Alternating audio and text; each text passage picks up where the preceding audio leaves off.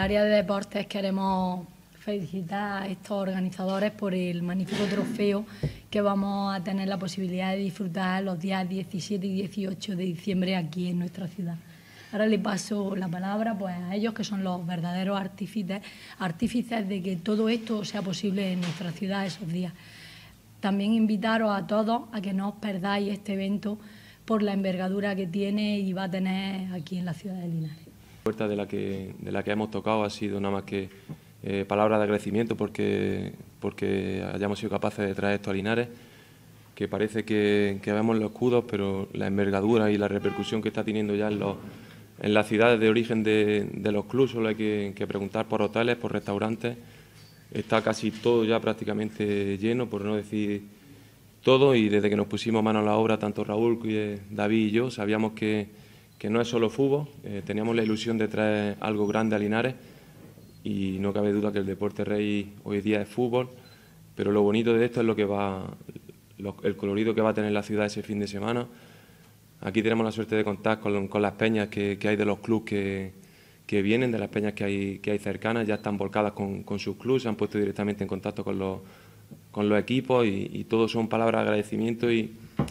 desde nuestro club y desde la organización que hay nos gustaría contaros miles de detalles que hay con cada club que hemos contactado porque cada uno es especial con el que hemos hablado no voy a distinguir ninguno porque, porque cada uno ha puesto, ha puesto de lo suyo para poder estar aquí. No es fácil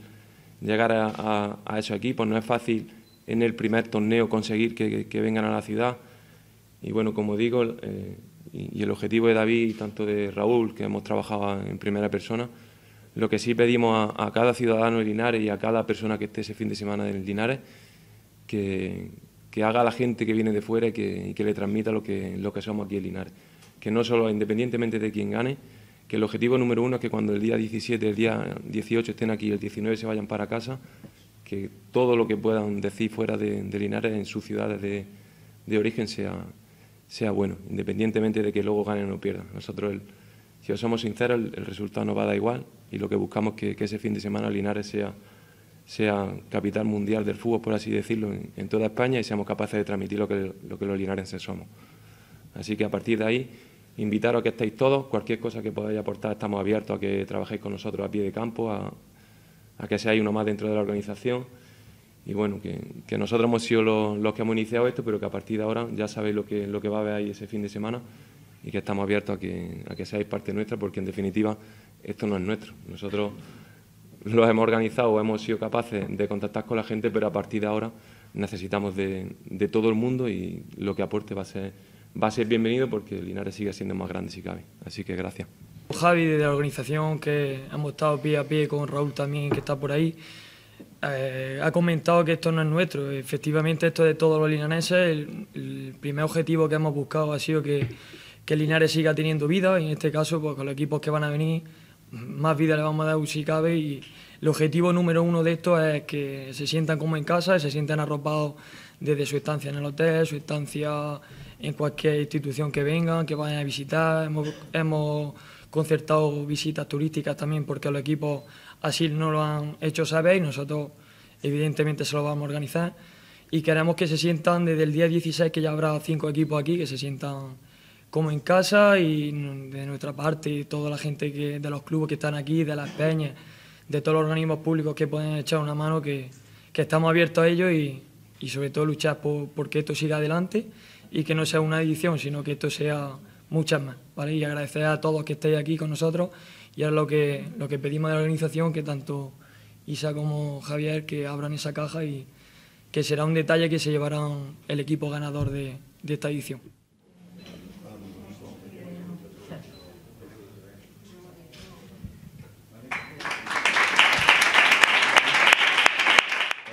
Desde el momento en el que se puso tanto Javi Quesada como David Ruz Perales,